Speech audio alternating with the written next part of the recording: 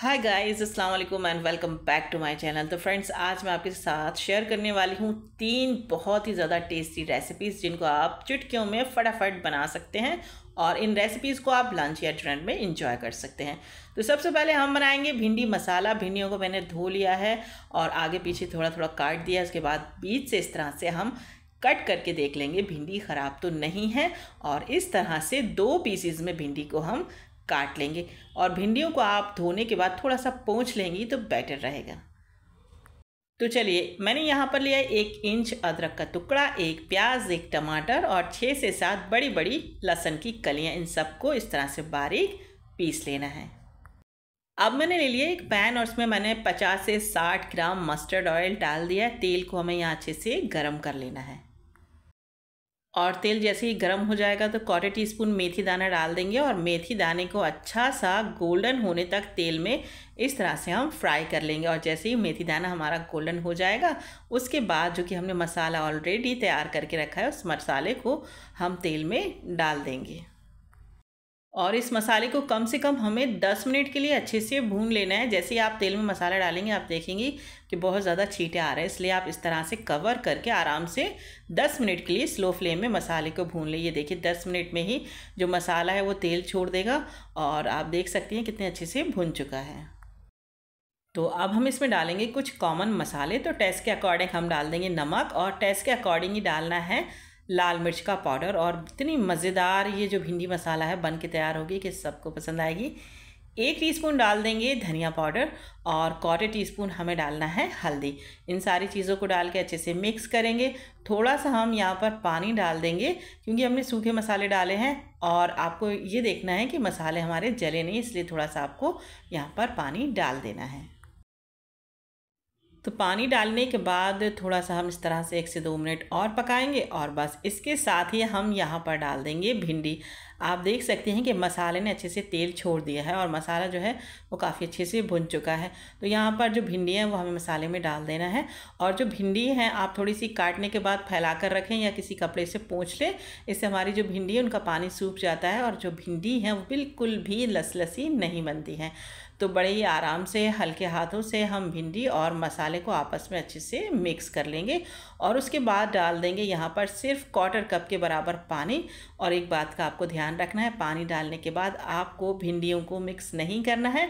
बस इसी तरह से कवर करके आप पाँच से छः मिनट के लिए स्लो फ्लेम पर भिंडियों को पका लीजिए।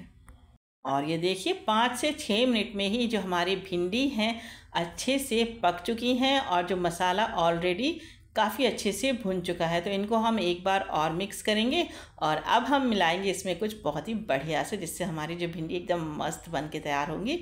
तो देखिए, यहाँ पर मेरे पास है दही।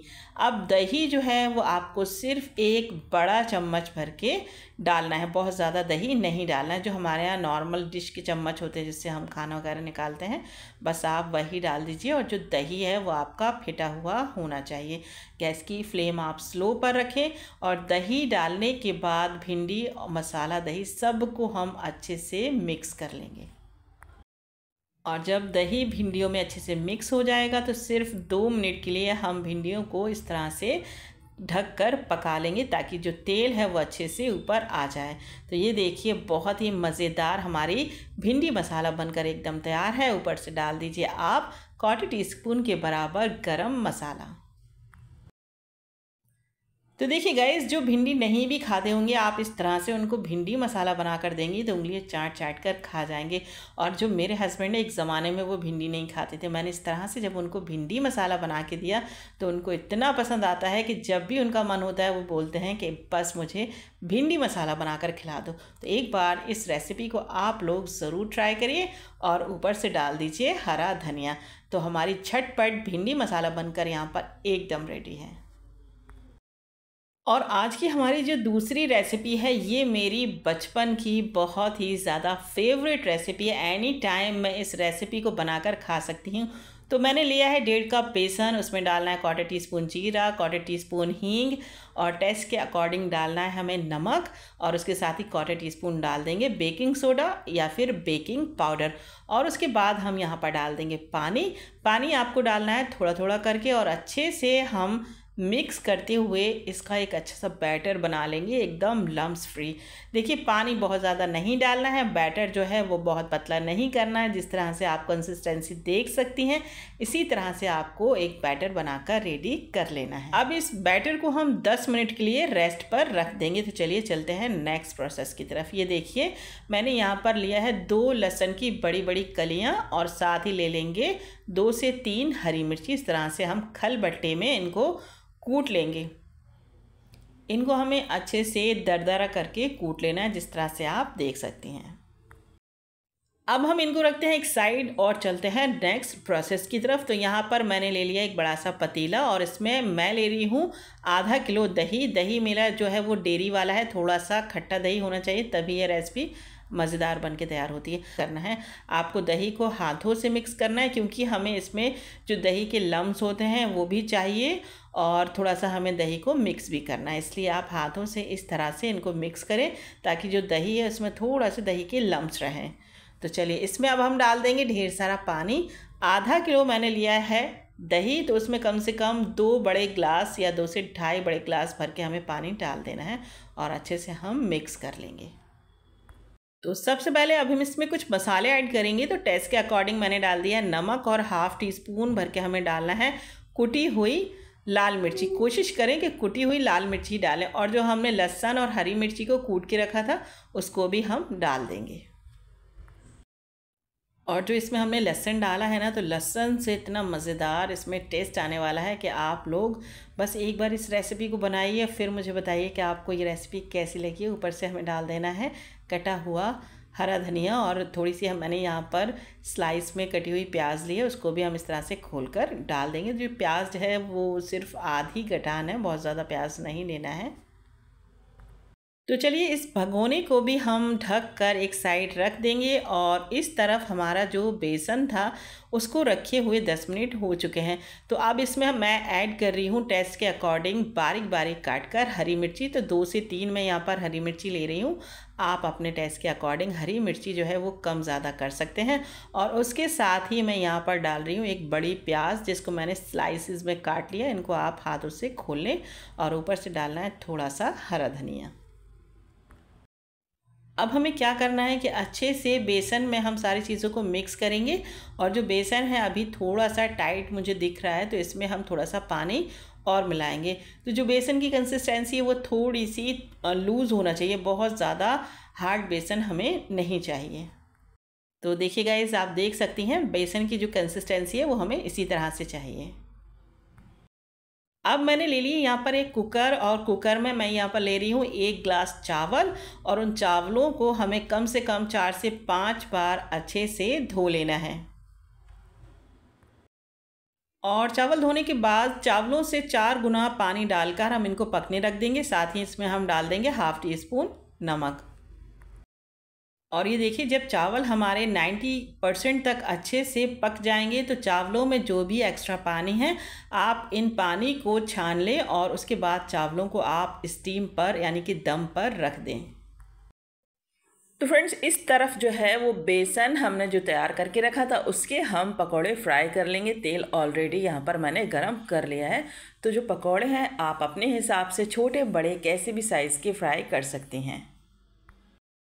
और जो पकोड़े हैं, वो हमें एकदम क्रिस्पी और गोल्डन होने तक अच्छे से फ्राई कर लेना है। तो आप देख सकती हैं कि जो पकोड़े वो काफ़ी अच्छे से फ्राई हो चुके हैं और एक नीचे भी गिर गया है। तो सारे पकौड़ों को हम एक प्लेट में निकाल लेंगे। और जैसे ही मैंने प्लेट में पकौड़ों को फ्राई करके निकाला, सारे ही घर के लोग आ गए, एक मुझे दे दो दो मुझे दे दो, क्योंकि बारिश चल रही है और पकौड़े देखकर सबकी नीयत ख़राब हो जाती है। तो बस इन गर्मा गर्म पकौड़ों को हम डाल देंगे इस दही वाले मिक्सचर में। अच्छा अच्छे से मिक्स करेंगे, इसके बाद हम इन पकोड़ों को ढक कर रख देंगे ताकि ये अच्छे से सॉफ्ट हो सके पाँच से छः मिनट के लिए। तड़का तैयार कर लेते हैं तब तक। मस्टर्ड ऑयल लिया है, मैंने थोड़ा सा उसमें डालना है, भर के हमें जीरा।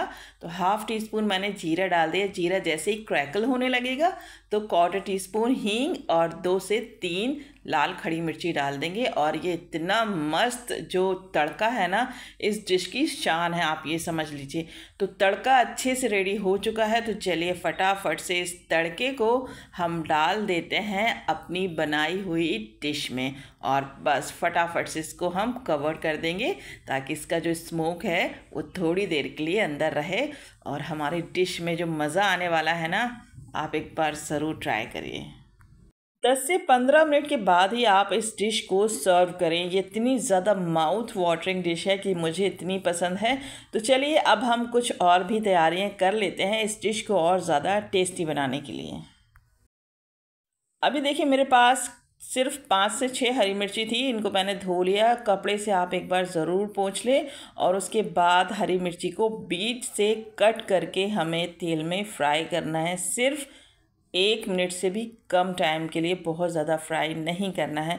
और जैसे ही आप देखें कि हरी मिर्ची हल्की हल्की सी फ्राई हो गई है तो बस आप उनको प्लेट में निकाल लें। लेकिन एक बात का ख्याल रखें कि बीच से आप कट ज़रूर लगा लें, नहीं तो तेल में जाने के बाद मिर्ची एकदम फटने लगती है और छीटे बाहर आते हैं। अब गर्मा गर्म मिर्ची में हम डाल देंगे नींबू का रस और उसके साथ ही भर के हमें डालना है चाट मसाला। और इसके बाद हम डाल देंगे कढ़ाई से निकाल कर, दो से तीन चम्मच गर्मा गर्म तेल। तो यहाँ पर हमारी बहुत ही ज़्यादा टेस्टी फ्राई हरी मिर्ची एकदम रेडी है। इन हरी मिर्च को आप फटाफट इस तरह से तलकर देखिए, किसी भी खाने का ये बहुत ही ज़्यादा टेस्ट बढ़ा देती है। इन चटपटी, खट्टी और बहुत ही टेस्टी हरी मिर्च को हम रखते हैं एक साइड और चलते हैं नेक्स्ट प्रोसेस की तरफ़। अब आप देखिए, यहाँ पर हमारे जो स्टीम राइस हमने दम के लिए रखे थे, एकदम रेडी हैं। इन गर्मा गर्म राइस को हम सर्व करते हैं दही के भजियों के साथ।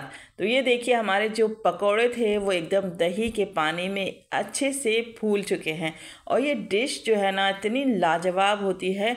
अगर आप इसको लंच में डिनर में बनाएँगे ना तो आप इतने मस्त होके पूरी फैमिली खाएगी कि मज़ा आ जाएगा।